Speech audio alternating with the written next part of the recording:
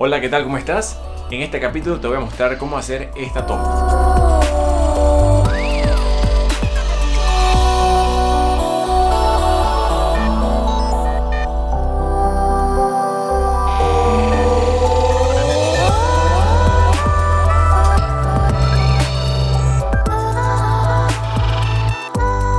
Pudiste notar en esta toma, la realizamos en un río, este fue específicamente en el río Chagres, aquí en Panamá, y a esta toma le llamamos sobrepasar y revelar.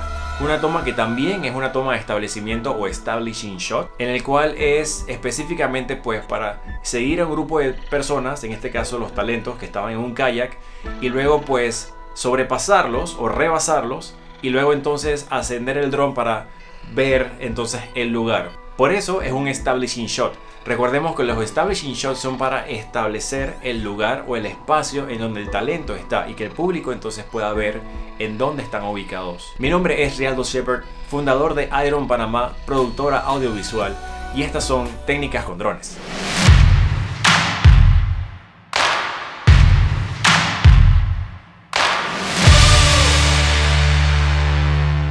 Bien, como pudiste notar, este vuelo fue realizado sobre el agua. No cabe más decir de que para poder hacer este tipo de tomas tienes que tener un poquito de precaución. Si tienes un dron como un Mavic 2, un Mavic Pro o un, Phantom también, o cualquier dron que tenga un sistema de, de posicionamiento visual hacia abajo, o sea, un sensor hacia abajo, es recomendable por DJI de que lo deshabilites. Para poder deshabilitar los sensores tienes que irte a configuración general Luego te vas a la opción configuración de navegación visual y luego seleccionas avanzado o opciones avanzadas.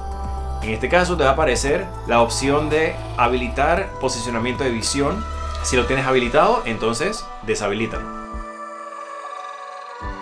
Una vez posicionado, entonces simplemente empiezas a moverte hacia adelante con tu elevador, o sea, tu stick derecho, moviéndolo hacia arriba.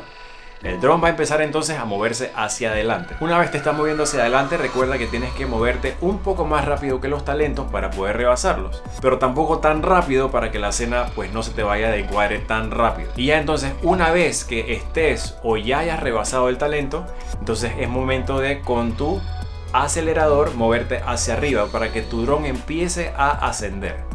Recuerda que tienes que seguir todavía moviéndote hacia adelante mientras sigues ascendiendo. Y ya es así de sencillo, una toma muy bonita en el cual, como de nuevo, casi todas las tomas son establishing shot con las tomas de drones porque son con lentes amplios, específicamente para este tipo de tomas.